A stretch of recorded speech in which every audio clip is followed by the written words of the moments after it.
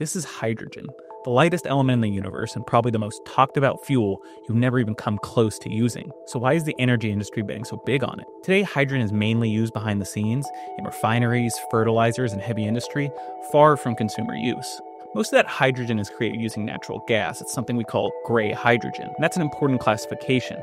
You often hear hydrogen referred to by a color. It acts as a sort of scale to define carbon emissions. The most popular colors are gray and black, hydrogen produced with fossil fuels, blue, which is similar but with the added step of carbon capture, and green, which is hydrogen separated from water via renewable power electrolysis. You would think with the goal of hydrogen fuel being a decarbonized energy source, green hydrogen would be the best option.